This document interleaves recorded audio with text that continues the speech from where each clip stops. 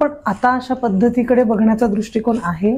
आता तुझी स्वतः तुमची स्वतःची शाळा आहे म्युझिक स्कूल आहे. तर या पद्धतीकडे कितपत लोकांचा आता कल आहे? कारण आता सगळ्यांना सगळं फास्ट. हवंय आता. त्याला काय मी आयुष्यच फास्ट झालंय ना. ज्या काळामध्ये शेवटची ट्रेन गाठायची आहे हे ठरलं ना तेव्हाच काळ खूप बदलला होता. आता त्याचा वेग वाढला आहे पण बदललेला काळ तेव्हाच ना. संगीत नाटकाच्या वेळेला तो बदलायला लागला. आधी संगीत नाटकं रात्रभर चालायची. कारण काही काही घाईच नसायची. पण नंतर जेव्हा मला शेवटची लोकल पकडायची आहे आणि इच्छा नसताना सुद्धा मला निघायचं आहे तेव्हा तो काळ बदलायला लागला. आता तर त्याला खूपच वेळ वेग पकडला परंतु मी काय करायचा प्रयत्न करतो तुम्हाला सांगतो. ह्याची जी एलिमेंट्स आहेत ना तर ती जी प्रक्रिया आहे काय आहे की मला गुरूंच्या सानिध्यात सदैव राहता येतो. आता ते शक्य नाही. मी बुवा म्हणायचे चला येता का गोव्याला? मी सगळं सोडून जायचो त्यांच्या मागे. आज ते जरी मुलांना हवं असलं तरी ते शक्य नाही कारण पद्धतच जगण्याची बदललेली आहे. तर आठवड्यातनं एकदा शिकवलं जातं जे पूर्वी शिकवलंय त्याची उजळणी केली जाते म्हणजे मेंटेनन्स होतो. नवीन काहीतरी शिकलं जातं म्हणजे तुम्हाला काहीतरी एक प्रेरणा मिळते आणि होमवर्क दिलं जातं. का? तर ते प्रेरणेचा पाठलाग तुम्हाला करता आला पाहिजे. आणि हे करत असताना जे शिकवलेलं आहे त्याचं ऑडिओ रेकॉर्ड पण करून दिलं जातं. म्हणजे ज्या इंडक्शनमध्ये मी आठ आठ तास रोज असायचो आता चोवीस तास असतं ते रेकॉर्डिंग आणि ह्याच्या पलीकडे जाऊन काही कार्यशाळा घेतो मी. मी आता मग अशी आपलं जसं बोलणं झालं तसं मी जगाच्या पाठीवर कुठे ना कुठे जातच असतो.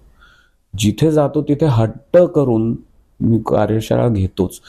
मी आता मध्यंतरी आतापर्यंत इतकी लांबडी टूर केली नव्हती. आपण त्याला वर्ल्ड टूर म्हणू शकतो. भारत दुबई म- युरोपमधले अनेक देश. आधी नुसतंच इंग्लंड मग अमेरिकेत जाऊन बारा पंधरा शहरं त्याच्यानंतर परत युरोपला आलो. त्याच्यानंतर परत भारतात आलो. अशी साधारण बावीस चोवीस कार्यक्रमांची टूर झाली. पण त्यात हट्टाने आणि प्रवास खूप असतो बरं का वेगवेगळ्या वेळा असतात पाणी वेगळं असतं. हट्टाने मी बारा वर्कशॉप केली. या चोवीस कार्यक्रमामध्ये. म्हणजे चोवीस कार्यक्रम वेगळे आणि बारा अधिक बारा वर्ष. आणि ते बाकीची गोष्टी असतात तुम्ही पण फिरलाय त्यामुळे त्या असतातच. त्याचं कारण काय माहितीये का? की त्या गाण्याला त्या लो- मुलांना सगळ्यांना स्पर्श करता यावा. आणि ते जरी माझ्याबरोबर आता ऑनलाईन शिकायला लागतं कारण मीच एका ठिकाणी नसतो. तर त्यांना एक कुठेतरी मी म्हटलं ना ऊर्जा. मग त्याच्यात मी होमवर्क देतो लोकांना. तर एक ते कुठेतरी प्रक्रिया. आणि त्यामध्ये कसं असतं की अजेंडा नसतो की अमुक एक आहे माता हे शिका ह्याचा आरव. तसंच घडलं जातं.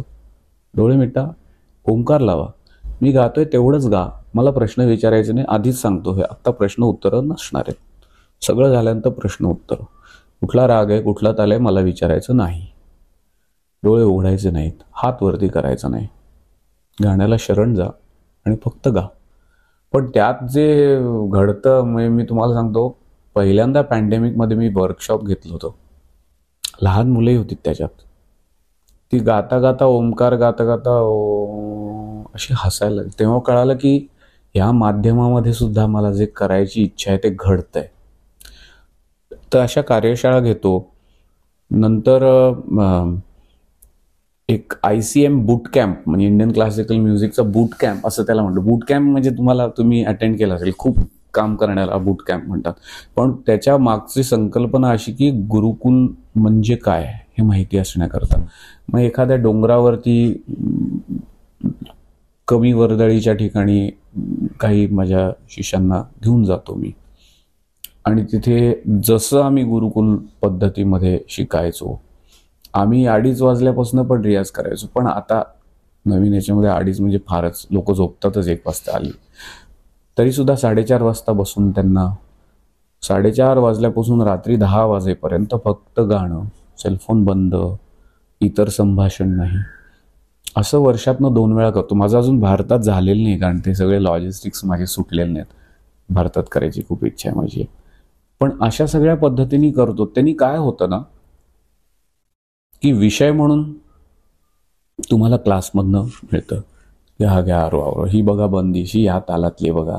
हे त्याचे शब्द आहेत हे होमवर्क आहे बघा हे रेकॉर्डिंग मग नंतर आपल्याला स्वतःला जे शोधायचं असतं ना ते या वन राग चार तासाच्या ह्याच्यामध्ये मिळतं.